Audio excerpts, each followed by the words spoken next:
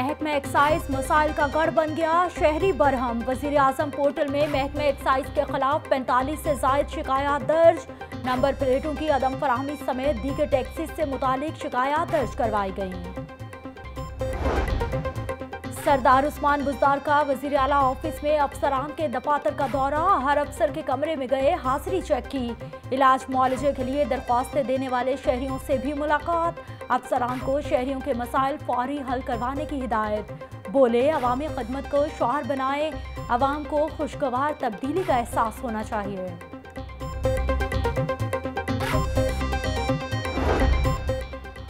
ملک کو لوٹنے کا زمانہ چلا گیا، اب اپنے لیے نہیں، ملک کے لیے کام کریں گے۔ عوام کو بہت جلد اقتصادی تبدیلی نظر آئے گی۔ انڈسٹری کو فروغ دیں گے۔ اب سوشل میڈیا کا دور ہے، کوئی بھی چیز چھپ نہیں سکتی۔ قائم مقام سپیکر، قومی اسمبلی، قاسم سوری کا لاہور چیمبر آف کامرس میں خطاب۔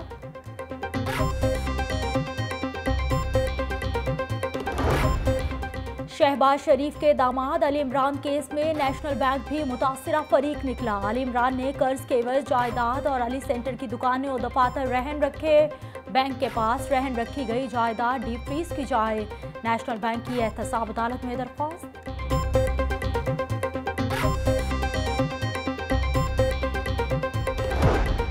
اور فنڈز کی عدم دستیابی عوامی فلاحی منصوبوں کے آڑے آ گئی۔ لاہور سمیت پنجاب بھر میں چھ سو باسٹھ پانی کی اسکیمیں غیر فعال ہونے کا انکشاف۔